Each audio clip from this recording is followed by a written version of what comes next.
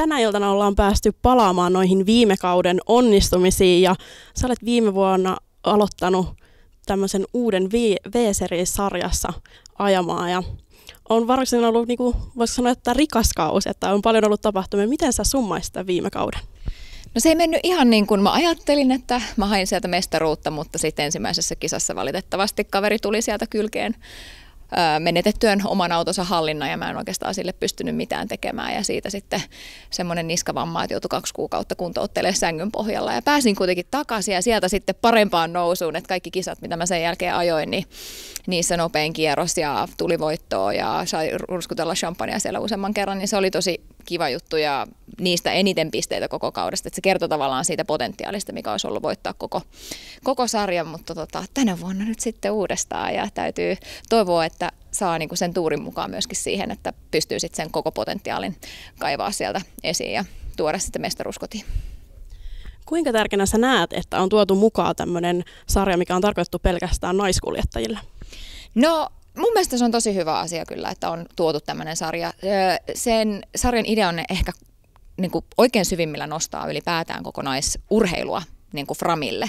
Ja sitä, että saataisiin niin kuin taloudellista tukea naisurheilulle, naisautourheilulle, edes se pieni prosentti, mitä laitetaan vaikka miesten lajeihin, niin saataisiin sinne naisille ja, ja sitä kautta niin kuin tuotua sitä women empowermentia esille kaikessa niin kuin kattavuudessaan. Ja kyllä niin kuin henkilökohtaisella tasolla se on ollut mulle ihan äärimmäisen mahtava paikka, koska siellä mä oon ensimmäistä kertaa mun urallani oikeasti saanut keskittyä olemaan vain urheilija.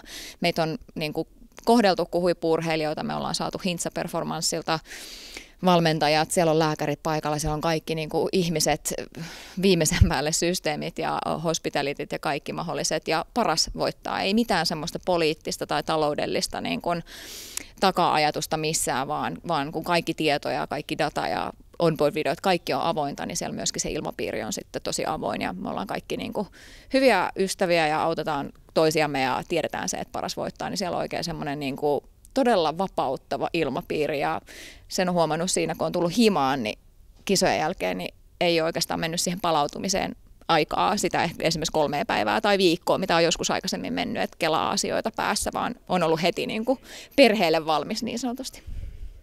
Säkin olet kuitenkin aloittanut ajamaan todella nuoresta ja tänä iltana ollaan nähty paljon palkittu näitä nuoria kuljettajia, niin mitkä on sun semmoiset parhaat muistot, mitä on jäänyt tuolta junioriajoilta?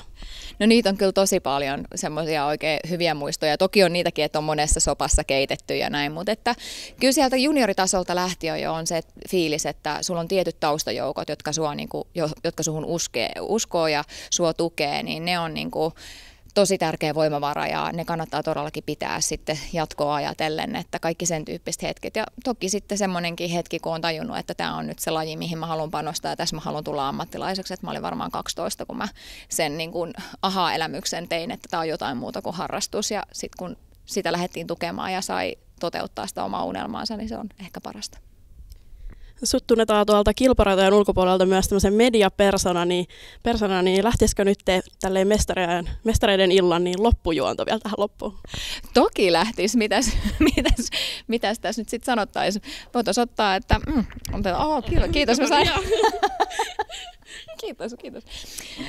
Mestareiden illasta me toivotetaan oikein paljon hyvää alkukevättä kaikille ja kiitos, että olette olleet mukana.